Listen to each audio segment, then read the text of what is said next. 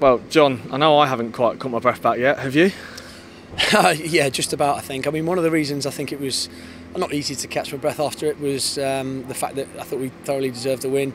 I thought you know it was it was nothing um, you know nothing more than, than what we sort of worked for over the 90 minutes and.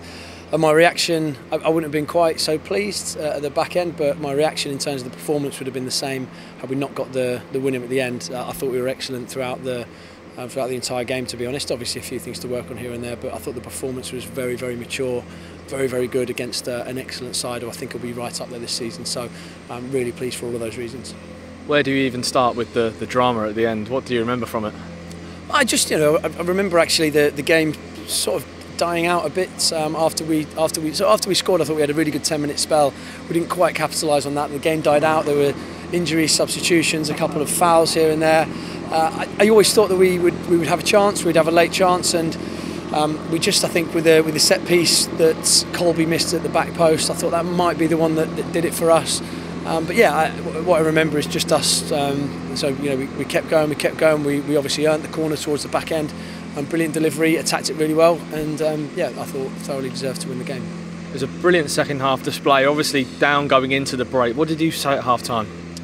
Uh, there were just a few things that we, we wanted to address. Uh, not not a huge amount. I thought we performed pretty well up until the goal. We had to defend the um, set piece a bit better, which you know, we'll, we'll, we'll obviously try and uh, work on. But it wasn't a performance that I thought warranted us being 1 0 down. And uh, just a couple of things. Number one, trying to get people a bit closer to Colby. When the ball went wide, getting crossed in the box, we, I don't think we committed enough um, bodies in the box in the first half, and um, maybe we were slightly wary of the counter attack because we can pose a real threat going the other way.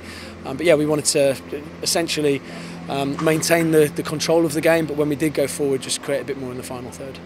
It's obviously disappointing to, to go behind again, but what does it say about the team? We, we keep on saying it. What does it say about this team, the fact they're able to, to come from behind again like that? It, the disappointment today was was much less than in other games, and we've spoken about this. I've spoken about this quite a bit this week. Um, one that really sticks in my mind was Peterborough. We, we went a goal behind against Peterborough. I thought we were really poor for 25 minutes and we deserved to be a goal behind and that was a problem. It wasn't the goal itself, it was the fact that we hadn't performed well. Tonight, I thought we performed pretty well. We were in control of the game. Um, with Wycombe's only shot, I think, um, obviously Vokes had the one on the turn, but one of their only shots in the first half, they've gone and scored, and I can live with that. I can genuinely live with that. Um, first of all, because the performance was there. Second of all, because I obviously know from the past couple of weeks the lads' heads aren't going to drop. I thought the feeling in the stadium was one of okay, we'll, we'll brush it off, we'll, we'll, go again, which is a nice spot to be in. Um, and and we thought I thought we saw the reaction. The reaction from the crowd at half time was was great. It really helps the boys. And yeah, we, we know that if we keep performing well, then um, hopefully more often than not we'll, we'll go in um, not going behind. But if we do, we, we know that we can get back into games. How did you react to the winner? It looked like you quite enjoyed it. I did. I really enjoyed it for about three seconds, and then realised it was good to get Sean Raggett on um, because it was, you know it's, one of those uh, that um, you know because of Wycombe's physical threat. Uh, yeah, that was the we thought that was the right sub, so managed to do that, and yeah, that you can you sort of can only enjoy those those goals very briefly because um, yeah, there's, there's still there was still I think a couple of minutes to play, which were a nervy couple of minutes for me, but uh, yeah, was, after the game I, I, really enjoyed it. I've loved walking around the pitch tonight. It was it was brilliant. We saw the the joy in everyone's faces, and um, you know the the singing towards the end was was amazing yeah, you touched on it there. It must have been really nice to sort of have that moment at the end with the fans and, and celebrating and, and, and, in and amongst this atmosphere. So, what's your message to them this evening? I just I love it. I, I you that was probably the. Um, I can't remember. Uh, that, that, was the most I enjoyed a goal. Was probably the Derby go, the Derby goal. That was probably the most I enjoyed a win. I don't know why. Um, maybe it's because it's under the lights on a Tuesday night at Fratton Park, and the lads deserved it, and the um, the fans deserved it um, after a real few tough few weeks of, of travelling up and down the country.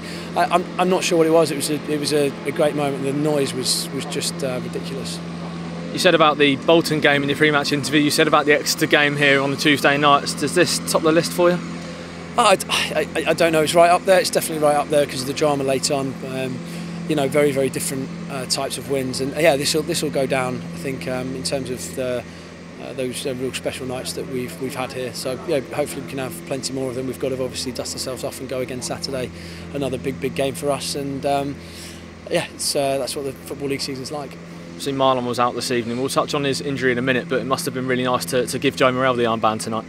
Yeah, I, th- I think Joe Morrell's been been superb. I think there's been a lot of criticism around uh, Joe towards the back end of last season for what happened at MK, which was, um, you know, probably justified, and, and, Joe took that on board.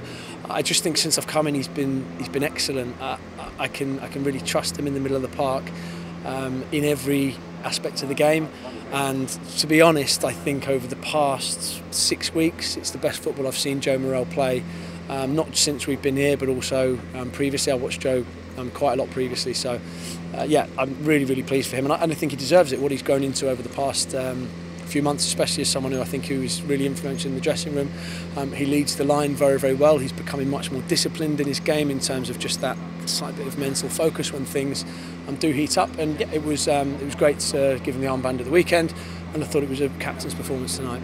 And just finally on Marlon's injury, do you know any more? No, not yet. So we were going to have a fitness test today with with Marlon. Um, it was a bit worse than we thought it would be, so uh, we decided to get it scanned. We're waiting on the scan results. And yeah, a real blow for us, I think, because Marlon's been superb. He's, he's, another one. Him and Joe, I think, over the past six weeks have just been very, very good in the middle of the park, dominating games. So yeah, a real, a real blow for us, I, I think. But we'll get more results, um, or we'll get the results and, and have more information Thursday.